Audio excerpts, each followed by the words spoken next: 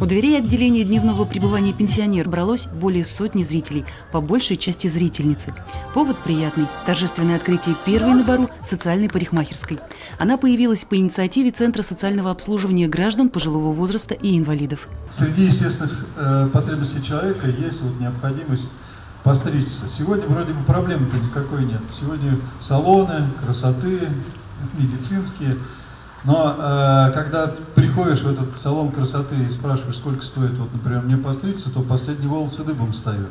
Социальная парикмахерская как раз отличается умеренными ценами. Стоимость стрижки здесь не превышает 155 рублей. Под парикмахерскую была переоборудована одна из комнат отделения дневного пребывания пенсионеров. За вполне приемлемую цену посетителей стрижет опытный профессионал.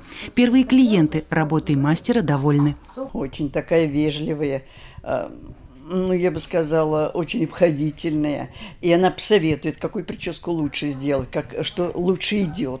Знакомым будете советовать сюда идти? Да, обязательно. Мастер Зоя Воронкова – парикмахер с семилетним стажем. Ловко орудует расческой и ножницами. Руки профессионала словно танцуют в воздухе. Выбрала я ну, это занятие, именно работу вот в социальной, как бы, да, парикмахерской, именно потому, потому что я очень люблю свою профессию, считаю то, что люди даже социальным, как бы, уровнем, да, финансовым, тоже должны иметь право выглядеть хорошо и ухоженно. С пенсионерами работать тяжело? Абсолютно нет. Они очень хорошие, добрые.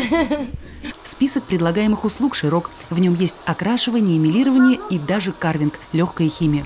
Пока же самые востребованные – стрижка и укладка.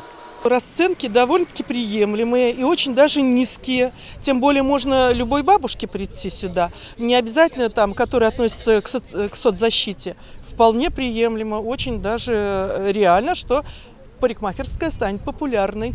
Социальная парикмахерская – проект некоммерческий. Она ориентирована на обслуживание представителей социально незащищенных слоев населения, чей бюджет всегда нуждается в строгой экономии. Сюда могут прийти э, прежде всего пенсионеры, э, люди, имеющие инвалидность э, и отдыхающие пенсионеры в самом отделении дневного пребывания. Мы уже в тестовом режиме попробовали оказать услуги, пока все довольны. Какие отзывы?